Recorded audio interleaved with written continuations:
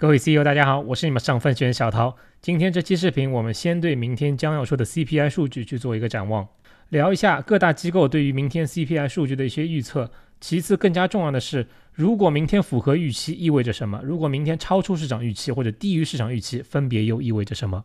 然后和美联储政策有关，高盛今天做了一个比较大胆的预测，他们预计今年的五月份开始，美联储就有可能会开始缩小他们 QT 缩表的这个体量。然后可能是一条今天市场里边最火热的新闻，即使我们很多的观众可能并不关心币圈，今天比特币现货 ETF 正式被通过。我们针对这一个事情稍微展开聊一下。最后，我想回答一下，在前几期视频下面有一位观众的问题，让我去看一下，在过去一段时间的牛市里边，股市平均下调的一个幅度到底有多少？其实最后我不知道我能不能回答这一个问题，但是在去探究这一个问题答案的时候，我发现了一些其他比较有意思的现象。所以视频的最后，一起来和大家分享一下，好吗？那我就马上开始今天的内容。在开始之前，还是要留给各位 CEO 五秒钟的点赞留言环节。各位 CEO，你们的每一个点赞和留言都是对我最大的鼓舞和支持。Two thousand years later，先来看一下今天资产价格的走势。美元今天是小幅下跌，美债收益率两年期和十年期今天基本没有动，TLT 是下跌了百分之零点五。过去的一个星期美元没有动，美债收益率这一块，两年期上涨了三个基点，十年期上涨了十一个基点，TLT 下跌了百分之二点六，下跌的幅度比较大。同时，在过去的一周里边，三大指数也分别出现了不同幅度的上涨。标普五百一点七，纳指上涨的幅度最大，百分之二点六。所以在过去一周里边，准确的说，美债和美股之间其实出现了一个分歧。然后有一点要指出的是，Poker Ratio 今天的收盘上涨了零点九，这个比例来到了一点六七，是属于一个比较高的比例。市场对于明天 CPI 的数据已经做好了比较充分的准备。最后是板块这边的走势，今天通讯服务、非必需品消费、科技板块都走得不错，一些和科技相关的个股，像 Meta、像亚马逊等等。所以今天前七大科技股涨幅在百分之一点五，除去前七大科技股，标普五百只上涨了百分之零点二。星期四的上午将会公布最新一组十二月份的 CPI 数据，现在市场预期无论是广义通胀还是核心通胀，环比的增速都是在百分之零点二七，约等于零点三。我去看了一下十二月份的油价，十二月份单月油价环比的下跌幅度将近要到百分之六，所以如果市场预期核心 CPI 环比增速在百分之零点三的话，那要使得广义 CPI 的环比增速也在百分之零点三，就必须要食品通胀在十二月份出现非常大幅度的环比上涨。又或者是在电价这一块出现大幅度的上涨，不然的话，十二月份环比 CPI 的这一个广义通胀非常有可能会小于现在市场预期的百分之零点三，所以这一组数据市场有可能存在一定的高估。彭博里面的预测其实是广义这一块是零点二，核心这一块是零点三，也比华尔街所有投行的这个平均数低了百分之零点一，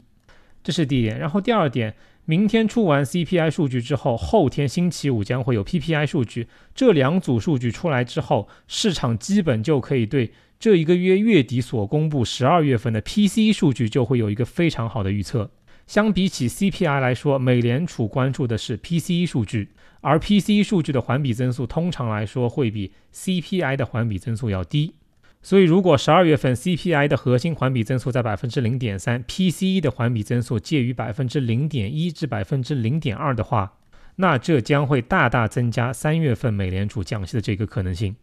从我个人比较主观的一个看法去看，三月份美联储会不会进行第一次降息，将取决于接下去这两个月的通胀数据，不是 CPI，是 PCE。最早我们会什么时候知道这个答案？我们要等到二月份出完一月份的 CPI 数据和 PPI 数据之后，我们才有可能得到这个答案。但是这一个月的 CPI 和 PPI 数据出来之后，我们可以看一下债券市场对于三月份美联储降息的这个预期。更加重要的是，我们看一下美联储的各位成员，他们是不是会出来向市场去 push back。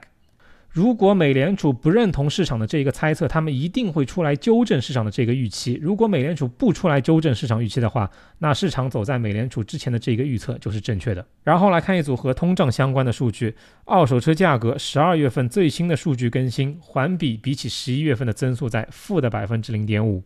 也就是在过去的几个月，准确的说，在整个二零二三年，二手车的价格基本是呈现一个下跌的趋势。整个二零二四年的期待应该是二手车的价格继续下跌，但是会不会回到疫情之前的这个水平，可能性不大。因为整个2024年，随着美联储开始慢慢的降息，人们的购买力开始慢慢上升，加上其实从疫情以来，整个市场仍然是处于一个供不应求的现象，所以二手车的价格在2024年应该还会持续下跌，但是这个下跌的空间比起2023年可能比较有限。讲到美联储的货币政策，除了加息和降息之外，另外一个手段就是缩表和量化宽松。根据最近这一段时间几位美联储成员，包括上一次美联储的纪要。高盛他们预测，最早美联储有可能在五月份就会开始缩小现在缩表的这个体量。高盛他们认为，从今年五月份开始，在美国国债这一块缩表的体量将会从现在每一个月六百亿美金减半，缩小到三百亿美金。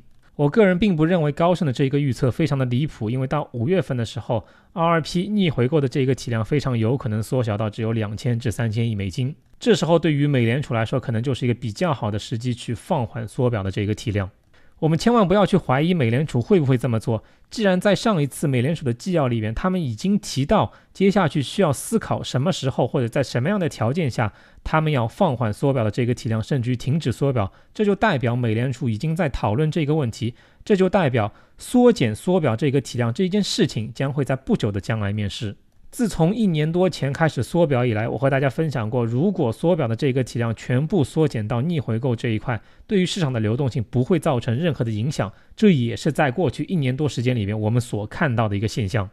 但是如果接下去美联储放缓缩表的这个体量，其实对于美国财政部来说，将会减轻一部分他们融资的这个压力。举个最简单的例子，现在每一个月美联储在美债这一块缩表的体量是在六百亿美金，这代表这六百亿美金的美国国债到期之后，美联储不再去购买另外的六百亿美金。但是美国的债务并不会凭空消失，所以这时候美国财政部就需要向市场上再去融资六百亿美金，而这六百亿美金融资的方法，理论上来说是通过一定固定的比例分配到短期美债和分配到长期美债。所以接下去，如果美联储缩减这六百亿美金的这个体量，缩减到三百亿美金的话，那对于美国财政部来说，理论上来说，安排到或者分配到长期美债这一块需要融资的一个体量，将会比以前要小。这样的话，对于美国长期国债来说，变相是一个利好。昨天视频下面有一位观众问了我一个问题，他说：“你是如何看待市场在大科技带领下？”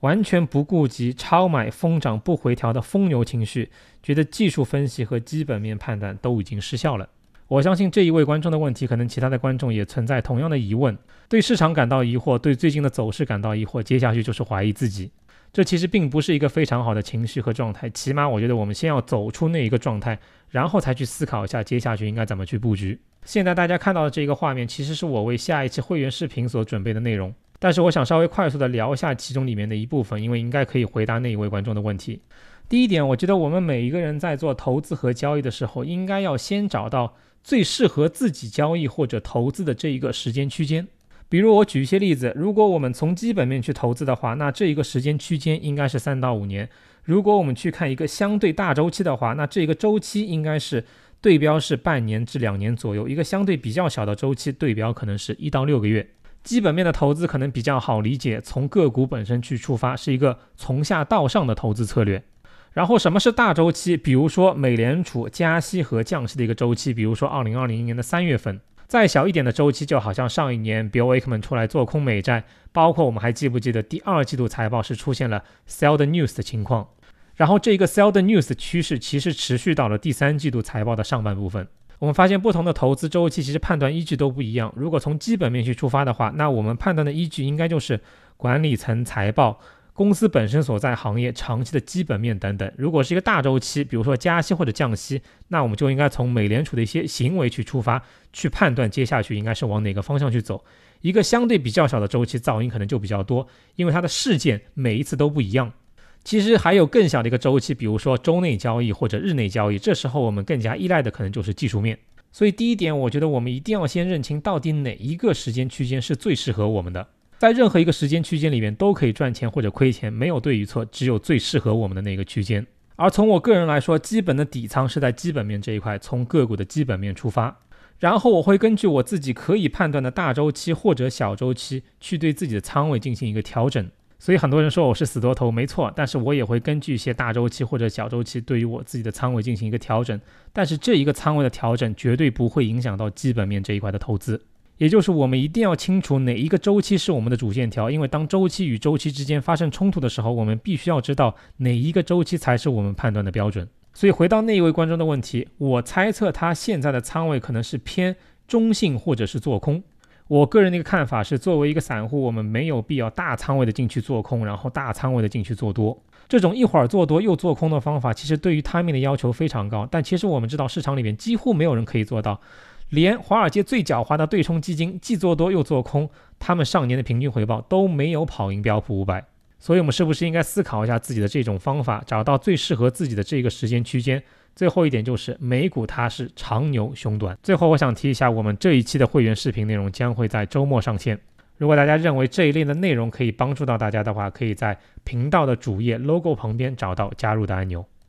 然后来聊一下比特币。今天下午，比特币的 ETF 正式通过。在美国证监会的官网上，证监会主席 Gary Gensler 发表了下面一段话。在下面的这一段话里边，他提到了几个重点。第一个重点就是。从二零一八年至二零二三年的三月份以来，其实已经有过二十多家机构申请比特币的现货 ETF，但是他们都被拒。转折点在哪？转折点在灰度向美国申诉法院提起申诉，并且法院最后认定美国证监会并没有提供足够的一个证据去拒绝灰度申请变成现货 ETF。所以准确的说，如果不是灰度的上诉，并且上诉胜利，可能 ETF 这个时间线还得往后推。然后 Gary Gensler 还说，我们对于比特币是保持中性。比特币相对于其他的一些重金属 ETF，比特币并没有任何的工业价值，并且比特币是一个投机和高风险的资产，并且比特币还被用来进行很多非法活动、洗钱、逃避制裁，包括恐怖主义。我觉得 Gary Gensler 其实没有说错。我们每一个人在投资比特币或者加密货币之前，必须要做好功课，必须要知道我们到底买的是什么，而不要因为现在市场非常火爆的情绪，有一股 formal 的情绪，最好明天就买入。再加上现在购入比特币确实比以前要简单很多。然后今天彭博的新闻给了这样的一个标题：比特币继续上涨，朝着新高去迈进，并且他给了这样的一个时间点，是在二零二一年的十一月份，当时是第一个比特币的期货 ETF 上线。而比特币就在第一个期货 ETF 上线之后的不久，去到了历史上的一个新高，之后就进行了非常漫长的一年多的回调。这张图明显是想暗示，是不是这一次现货 ETF 的上线也将会成为比特币阶段性的一个顶点？我觉得有一点比较相似的是，现在市场的情绪面的确不低，可能连一些平时并不关心币圈的人，今天通过这条新闻也开始慢慢的关注比特币这个市场。这是这两个时间点的相似点，不同点其实还挺多的。二零二一年的十一月份是什么时候？是美联储第一次开始转阴的时候。我到现在还记得非常的清楚。当时十一月份美联储会议之后的记者招待会，鲍威尔说：“我认为资产价格的下跌可以使人们回到劳动力市场。”当时我那期视频里面我说，听到这句话让我觉得非常的恐怖。这其实是当时美联储的第一次 pivot。我记得之后十二月份、一月份，我一直和大家灌输的一个思想是我们必须要对自己的仓位进行 consolidate。所以现在的宏观环境和当时还是挺不一样的。而且从整个市场的一个参与度来说，我个人的一个感觉，当时市场的一个热度要比现在高很多。最后从一个理性的角度去看待这一次 ETF 的通过，我个人来说，从长期的一个角度去看，对于比特币来说应该是一个利好。但是这必须要建立在机构对于比特币是要产生一个共识，他们需要认同比特币背后的一个价值，不然的话，其实我们可以试想一下，二零二二年比特币最低的时候去到一万五千美金，当时如果就已经有很多机构参与在内的话，那我认为一万五千美金都不一定是当时的一个底部。所以机构是一把双刃剑，在往上推的时候，机构的确可以帮你把这个价格拉到非常的高，但是在跑路的时候，机构永远是毫不留情的那一位。最后，从一个短中期的角度，我们需要思考的是，几乎现在手里持有比特币的这些人全部都在盈利。那机构的进场，他们是不是愿意在四万六、五万，甚至于更高的一个价格，从我们手里把我们的比特币给买走？最后，在前天视频下面有一位观众问我，让我去看一下历史上去看牛市里边美股的一个回调幅度平均有多少。我答应了那一位观众的问题，但是我今天在找这一个问题答案的时候，我发现我应该怎么去定义每一次的回调。所以我想从另外一个角度去回答这一个问题。我们看过去五十年美股的一个走势，相对比较大幅度的几次调整，如果我们知道几次大幅度的调整之后，那我们知道剩下的调整基本上这个幅度都会比这些调整要小。首先，第一个时间点，一九七四年至一九八一年，七年多八年的时间，在这一段时间里边，毫无疑问，美股的一个牛市是从一九七四年底一直到一九八一年初，在这六年多的时间里边，美股几乎是翻了一倍多一点。但是美股分别出现了三次比较大幅度的下调，下调的幅度分别在百分之十九、百分之十七和百分之二十。一个有意思的现象是，基本上市场对于熊市的一个定义是下跌的幅度从最高点百分之二十。所以从定义区出发的话，这三次调整都算不上是熊市，只能算是牛市里边最大幅度的调整。然后下一个阶段，一九八二年至一九九零年，在这八年多的时间里边，美股上涨的幅度非常的大，从一百点最高上升到了三百五十点，三点五倍。而在这九年的时间里边，美股经历了两次相对比较大的调整。第一次就是一九八七年，从最高点下跌了百分之三十三点五，这是历史上非常著名的黑色星期一。然后下一次就是一九九零年的那一次调整，下跌的幅度将近百分之二十。除了这两次比较大的跌幅之外，在这九年里边，美股的这个跌幅可能几乎都没有一次超过百分之十。下一个阶段，一九九一年至二零零一年，这也是美股最疯狂的一个阶段，指数从三百点上升到了一千五百点，翻了将近五倍。而在一千五百点的时候，也是历史上一个非常著名的时间点——科技泡沫。但是我们看到，在这一个时间段里边，只有一次相对比较大的幅度，是在一九九八年下跌了百分之十九。除了这一次下跌百分之十九以外，其他的下跌幅度目测上去可能最多在百分之十至百分之十二左右。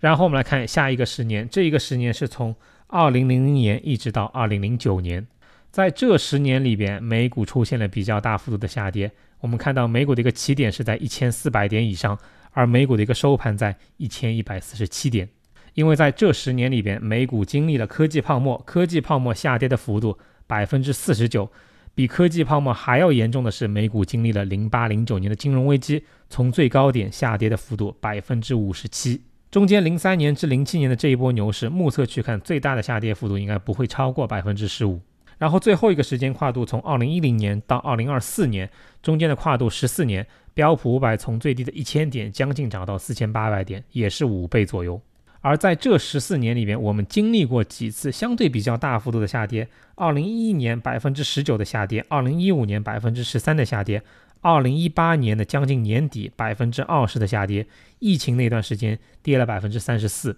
最后一次可能就是我们刚刚经历过的二零二二年的回调，百分之二十五。而在这中间，二零一一年到二零一八年的这一波牛市。美股几乎没有一个像样的回调，最大的一个幅度是在二零一五年的百分之十三。所以美股如果要牛起来的话，第一可以持续非常长的时间，第二点我们几乎看不到任何像样的回调。第二点，如果我们看过去五十年的走势，有很多次下跌的幅度都是在百分之十八、百分之十九，或者刚刚到百分之二十，感觉百分之二十是一个非常神奇的数字。下一次我说，万一我们再看到那么大幅度回调的时候，不要慌，勇敢的加仓。最后来到了富途摸摸环节，针对加拿大的观众，他们推出了 RSP 和 TFSA 的自主投资。现在为了鼓励大家入金，只需入资一百就可以获得五十加币的现金券；如果入资五万，就可以获得累计七百五十加币的现金券。入资的一个定义是入金或者转仓，而如果转仓的金额达到十万的话，就可以领取最高的这个数字一千五百五十加币。然后美国这边现在入金一千就可以获得十五股免费的股票，加上现在闲置资金最高可以获得百分之五点一的年化回报。最后澳洲市场这一块现在最高可以获取三千三百澳币的利息，年化百分之六点八，适用于前一百八十天。现在注册即可以获得一股 AMC 的赠股。如果大家感兴趣的话，可以在视频的置顶留言里面找到开户的链接。那今天的这期内容就到这边，最后各位 CEO 别忘了留下你们慷慨的点赞，我们下期见。